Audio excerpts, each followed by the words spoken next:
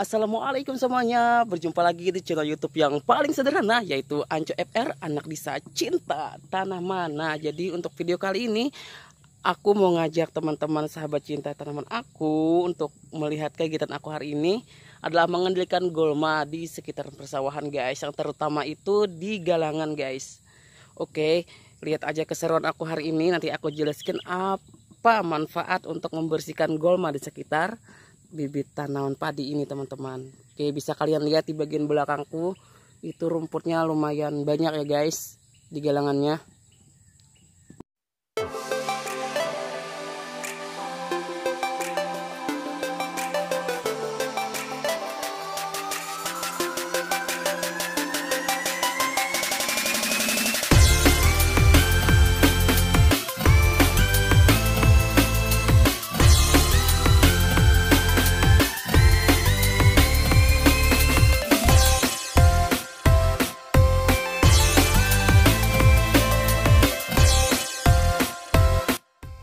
Nah, sahabat cinta tanaman, ini aku sedang melakukan kegiatan mengendalikan golma atau memberantas tanaman liar di sekitaran galangan persewaan aku. Jadi, aku ini mengendalikan golmanya itu dengan cara manual ya teman-teman atau aku menggunakan tangan aku atau pisau. Nah, jadi jangan lupa kalian selalu siapkan yang namanya itu alat ketika LH ya teman-teman. Atau yang aku pakai itu ada sarung tangan atau alat pengamannya ya teman-teman agar kita terhindar dari yang tidak kita inginkan seperti terluka atau terkena sabitan senjata tajam.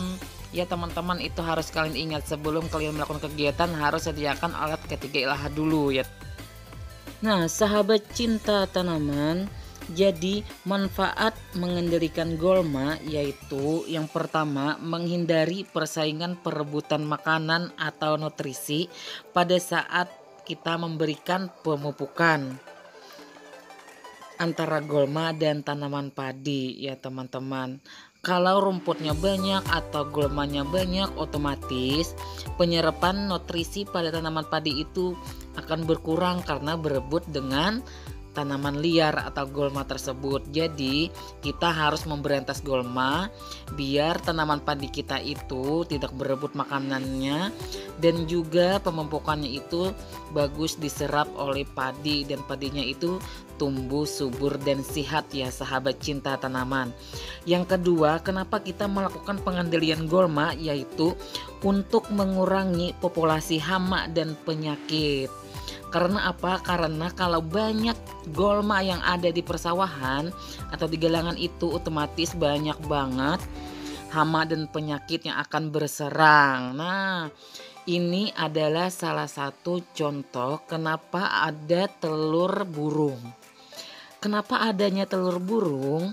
Itu karena disebabkan banyaknya golma atau rumputan yang ada di galangan terlalu tebal sehingga burung itu berserang ya sahabat cinta tanaman.